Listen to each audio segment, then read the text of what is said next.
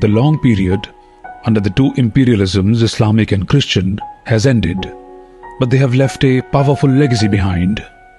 India became politically free in 1947, but it is ruled by anti-Hindu Hindus.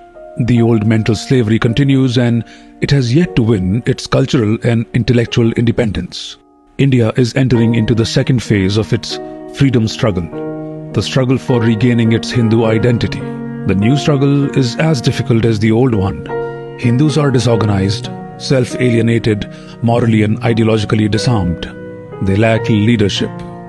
The Hindu elites have become illiterate about their spiritual heritage and history and indifferent and even hostile towards their religion.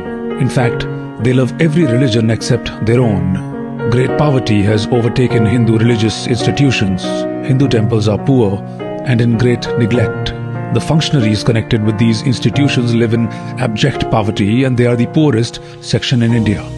The education of Hindus is not in their own hands. In fact, the teaching of Hinduism has been neglected for centuries and Hindu children grow in complete ignorance of their religion. Hinduism is becoming a non-practicing and non-practiced religion. India's higher education, its academia and media are in the hands of a Hindu-hating elite. India's history is written by people under the influence of old imperial schools. They tell you how Muslims and Christians came as liberators from the shackles of Hinduism. Hindus have been kept down too long. Everyone, including the victims, think that it is the natural order of things. Therefore now, with the Hindu societies showing some sign of stir, there is a great consternation.